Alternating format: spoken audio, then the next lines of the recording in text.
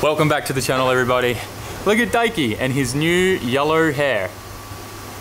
I kind of like it. It's a nice contrast between the pink and the yellow. Anyways, uh, it's crunch day today. This is the last day that we can work on this car. Tomorrow is the tune. We are we got to leave at like four o'clock in the morning to make it in time down to where Tanaka-san is, and then uh, the day after that is test day shakedown at Scuba Circuit. So we have a lot to get done, and as you can see, a lot has been done.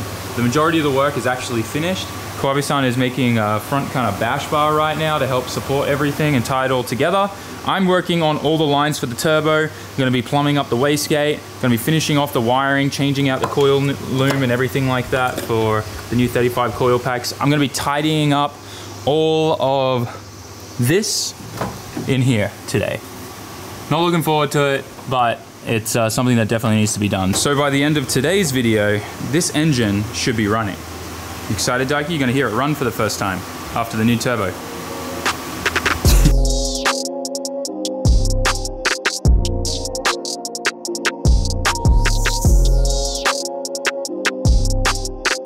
So I've just started on mapping out all the lines and before I do anything is I like to put all the fittings onto everything to just try and get an idea of how it's all gonna work. And I actually found a problem where the uh, fitting that would screw onto the turbo for the water here was actually hitting on the bolt here with the orientation that it was clocked. Now luckily with all the new G series cores is you have two ports on either side. Now you should try to have one low and one top which is what we've done here, but I just flipped them. So over here used to be bottom port and top port over here, but we flipped it so this is the bottom port here and that's the top port. And now we're gonna get nice even flow through that core that's gonna keep everything nice and cool. And we clear the bolts on both sides now. So just a good idea to just kind of screw all your fittings on first before you go and make the lines or anything to make sure you have enough clearance for the fittings to even screw on in the first place. Some of these G series with one, some of their bigger profiles are really tight and you need like tight radius fittings and stuff like that. Um, but yeah, otherwise, everything's looking good here now. I've already got my oil drain little extension piece on there, the little flex pipe. I highly recommend just get one of these flex pipe things. You can buy them from PRP or GCG. Um, they're amazing and uh, they just save you so much time because you bring your 10 mil down here, sorry, your dash 10 fitting down here and everything up there, you know, once you set it once, you never have to touch it. And because it's flexible as well, you can kind of just like pivot it and move it into whichever direction you need for your drain. Just makes life a lot easier. So I'm gonna go get started and cutting all the lines and the lengths up and then we'll uh, start putting everything together. Doesn't matter how many times you think you have everything, you always forget something. And this is what I forgot. The AN hose cutter. What are you doing here, Riley? Working on stuff. Doing geeky stuff, nerdy stuff? Yeah, I'm about to do a bunch of soldering. IRL backpack stuff?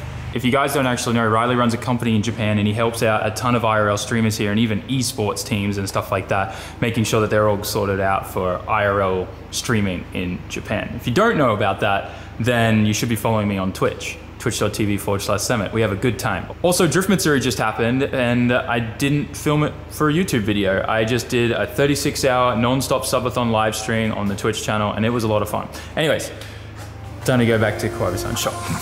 Way back.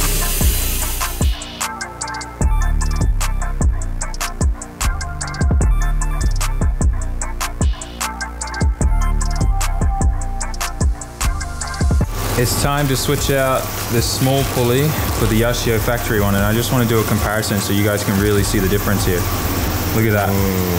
Massive difference. So this is smaller than stock. I have no idea why you would want to overdrive the water pump on these. And this is much bigger. Look at the difference there. Huge difference. Just look at these side by side like that. Yeah.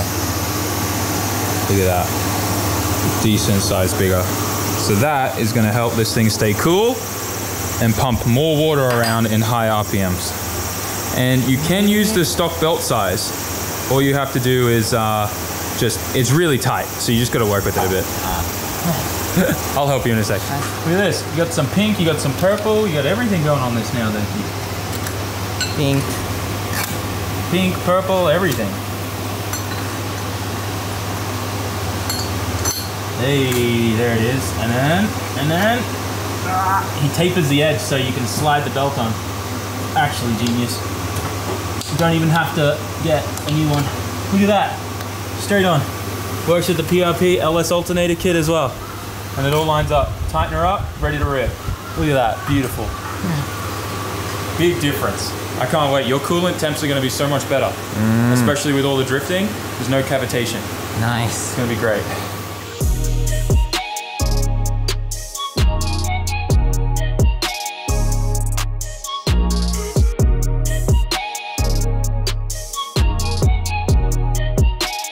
That's a perfect oil drain line. I think the last time I picked up the camera, we were still working on the lines. Those are all finished now. We just finished changing out the springs in the wastegate so that that's all set up and good for pretty much starting at around 16 PSI. And then we can ramp it up from there. So it'll be about 1.2 bar. And then everything else is kind of like good to go. Kawabe-san's finishing up welding in the support bar and stuff that he's putting in. But recently we just added these to Sammit.net holographic engine stickers. These things are incredible. I love them so much. We're gonna do a batch probably in a couple months too of a different glitter kind of holographic, but this is awesome. SR20, we've got the RB28, and we've also got the 1JZ. We're gonna be working on new engine ones soon too, but I figured that it was perfect time that we stuck a nice little SR one somewhere on this car. You think around up there? Yeah. All right. Just wipe her off and yeah, that'll look good. Ding, ding, ding. We got Jimmy's. Oh, his is hollow too. That's sick. Hell yeah. We need some Sammit ones, I think. No more broken please. And one thing that's absolutely been saving me is our insulated water bottles, especially with how hot it's been recently. 12 hours, it'll keep your drink cold or hot, and they're super durable. Although, we have had some people email us. One guy said he dropped his out of a moving car. I have a lot of questions about how that even happened, but we do sell replacement lids. They're only 1,000 yen, which is like 7 bucks USD. So go to sammit.net and grab yourself some merch.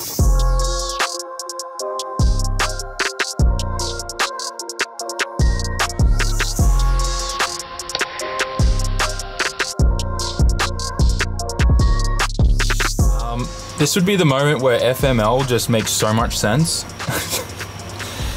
Fixing a lot of stuff and just trying to just tidy everything up and figure out what's not working, what's what is working. Um, obviously, I can't do too much, but um, like his old boost controller just fell out of these weird connector things here, um, which are just like these quick connects for wiring and stuff. But they obviously sometimes they don't crimp down properly, so wires can fall out of them. Um, I found some wires that had melted and stuff in here, so I got to go through and replace some of this. Um, found some blown fuses. This is another whole thing I got to sort out, and just everything else here is a bit of a disaster. There's some weird patch harness stuff going on too. It seems like instead of I don't know, they just cut a ton of wires here on the factory loom and then just ran random other like I don't know, normal DC 12 volt wire, wire for sensors. Like one of these is for the water temp sensor, and then the other one of these is uh, uh, some other sensor in the engine bay. Like just weird stuff.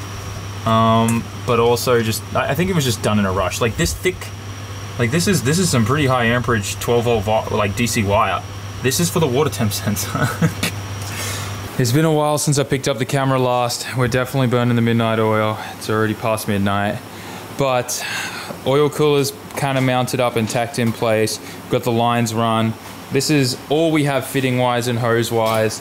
So we're just kind of making it work. I hate it, but it is what it is. And we will change all this after um, the event this weekend and whatnot. This is just so we can get to the tune tomorrow. Well, now today.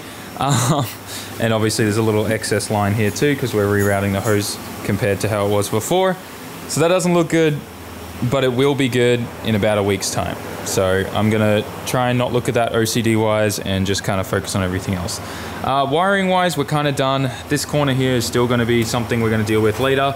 Like I said, we're planning to rewire this whole car.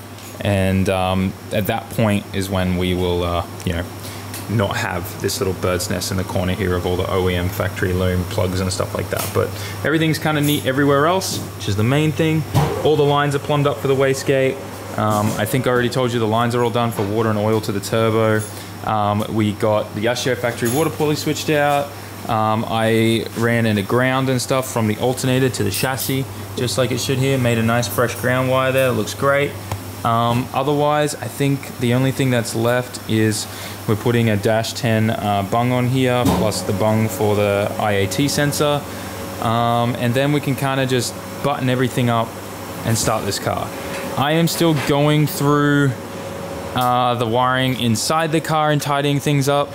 Most of it's somewhat kind of done now. I just need to, you know, zip tie it up out of the way and all that kind of thing and make it look nicer. But we're making progress. It's gonna be a late one slash maybe no sleep at all, um, which isn't great, but it is what it is. This is definitely still not what I want, but it looks a million times better. And I cleaned out a ton of stuff that we didn't need, It took out a bunch of wires and stuff that just made no sense and weren't going to anything, tidied everything up.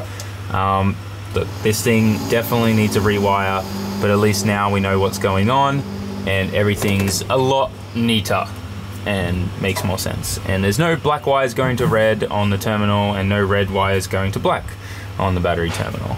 It's the main thing. That's the main thing. All right, so it's a lot better. A lot better than it was. Also, I redid all the grounding because it was all rusted up and some of the wires were just so long and coiled up in there that it made no sense. So yeah, we should be good now. Link ECU's back up here.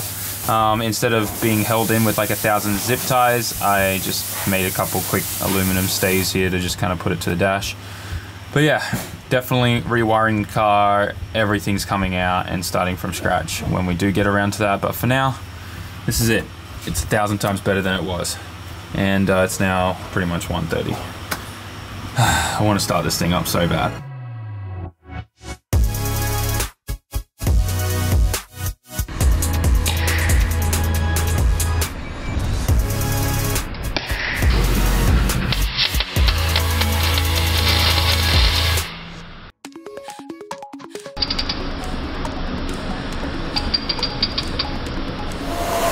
Getting to the exciting time. It's time to put water in. We already got the concentrate cooling in there.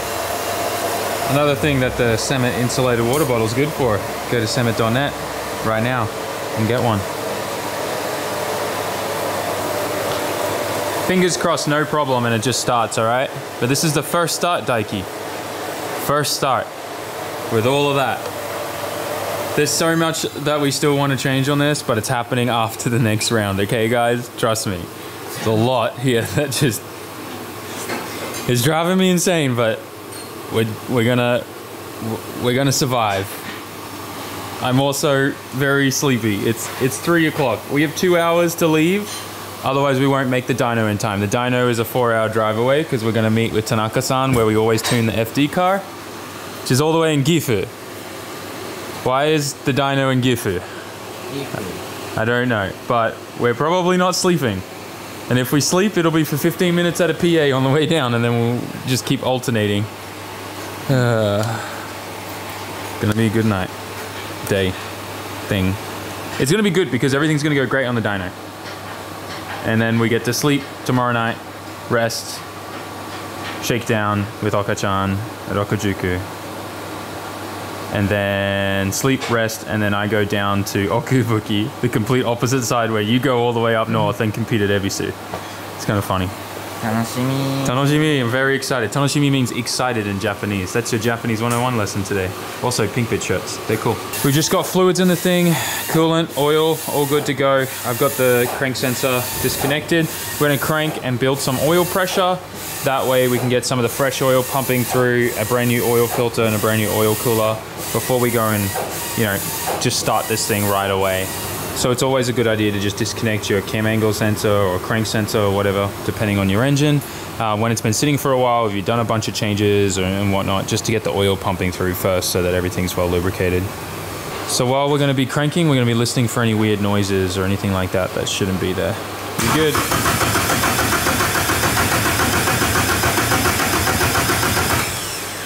Sounds good to me. Let her rest for a bit and crank it go.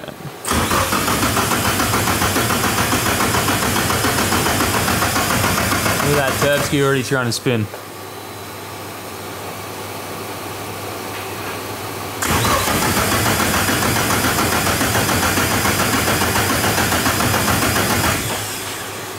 Okay, Daiki. We got oil pressure. We topped up the oil.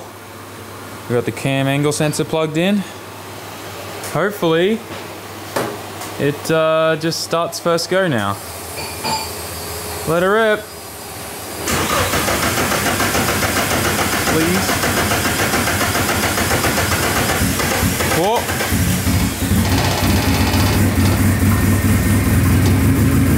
Sounds cam.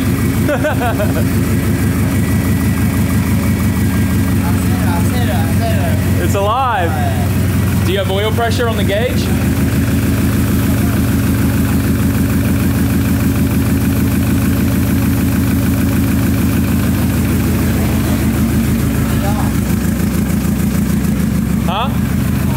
You have full bar? That's good. We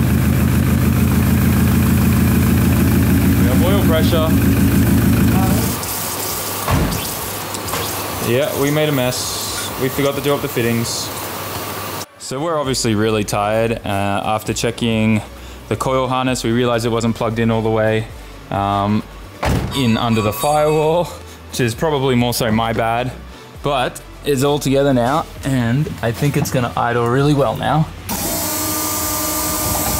Let's start her up. Oh my god, right away. It's fixed, right? No longer got a misfire. Before it had a terrible misfire. It sounds good. Now obviously it's, uh, oh, my Apple Watch died because it's hasn't been charged in like two days now. It's nearly four o'clock. So we're not gonna rev this.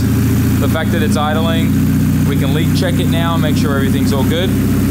But I think, uh, I think we're in luck. Sounds really good. Sounds really good. Triple checked all of the sensors. Everything's working good now. I'm pretty hyped. I think we're gonna make it.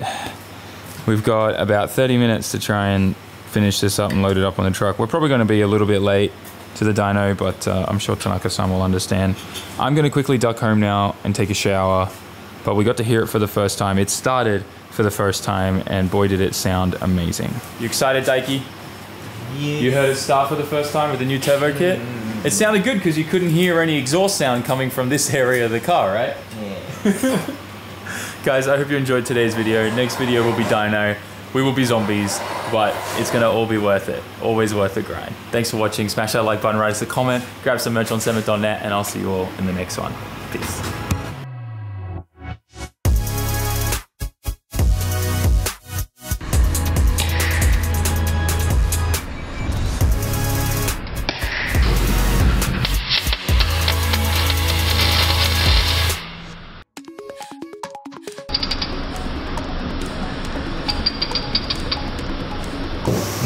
Broken, please.